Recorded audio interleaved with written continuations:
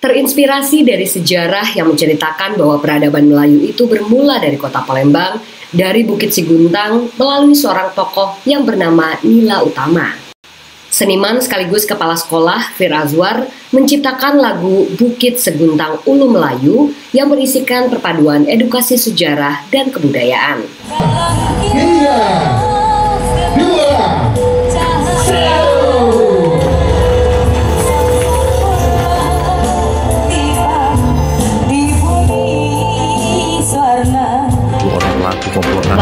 Pastikan stok BBM dan LPG.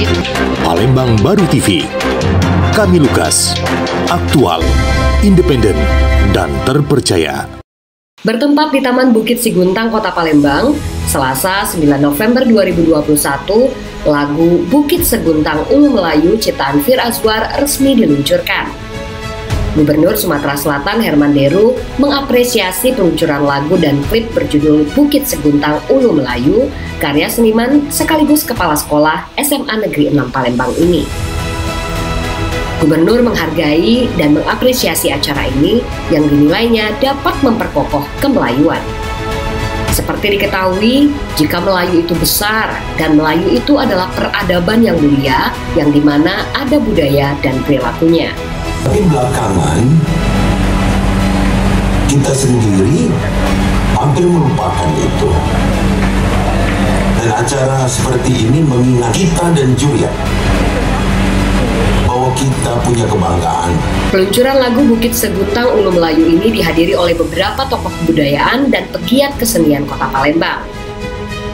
Lagu yang dirilis dengan judul Seguntang Ulu Melayu ini dinyanyikan langsung oleh Rita Shakira juara dua di ajang KDI di era TPI, dikomposeri oleh Jimmy Galvian. Selain Rita Shakira, lagu ini juga melibatkan Henry Lamiri, salah satu dari empat tokoh violinis di Indonesia untuk menggesek biola di lagu Seguntang Ulu Melayu. Henry Lamiri dikenal sebagai musisi yang menggawangi grup musik Arwana. Untuk irama akordeon di dalam lagu Seguntang Ulu Melayu ini diisi oleh Butong Olala yang sehari-harinya terlibat di grup Ronggeng Melayu Taman Mini Indonesia Indah. Lagu Seguntang Ulu Melayu menceritakan bahwa negeri Palembang adalah ulunya Melayu dari bangsa Melayu yang ada di Nusantara. Aktivasi Seguntang Ulu Melayu. Kemelayuan kita. Melayu itu besar. Melayu itu adalah peradaban yang sangat yang di mana adat budayanya, perilakunya. Maka Melayu itu jangan hanya diidentikan dengan pakaiannya, tapi identikan juga dengan perilaku kemelayuan. Jadi seni budaya ini adalah uh, sebagai cara kita untuk membuat masyarakat Melayu itu bangga terhadap kemelayuan. Sementara itu, pencipta lagu Seguntang Ulu Melayu Fir Azwar mengatakan lagu ini terinspirasi dari sejarah yang menceritakan bahwa peradaban Melayu itu bermula dari kota Palembang. Dari Bukit Seguntang melalui seorang tokoh yang bernama Nila Utama. Menurutnya di Singapura di tanah Melayu Malaysia, nila utama ini disanjung-sanjung dan dibesar-besarkan.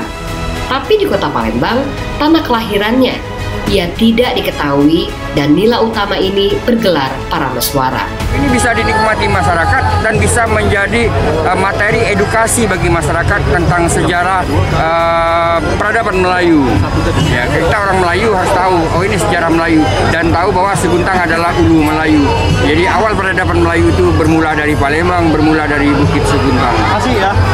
Uh, prosesnya, proses take vokal, proses take, uh, video klip, kemudian selesai uh, diproses kemudian karena pandemi COVID-19 tidak bisa launching akhirnya lima bulan uh, di dalam arsip simpan dalam arsip.